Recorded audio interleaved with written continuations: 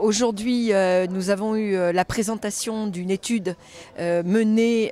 en partenariat entre les entreprises de recyclage, l'ADEME, qui a mis en place un dispositif qui permet de calculer l'impact du recyclage sur les gaz à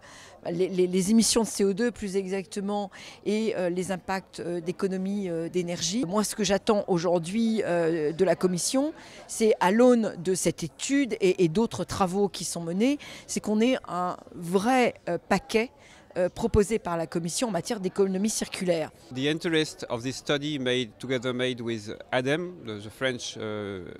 agency, was to implement a software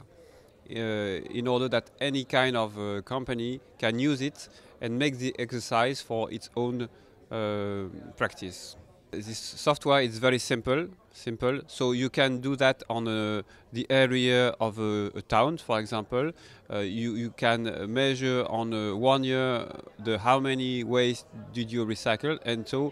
Uh, based on those figures, make the calculation for the whole CO2 benefits and whole energy saving. The idea is to help the European Commission to think about the future and everybody would like to help and to develop recycling and it's, it's a way to do so. Pour la première fois en Europe, on a pu sortir une étude qui nous permet de, de définir les bénéfices environnementaux de l'utilisation des matières euh, recyclées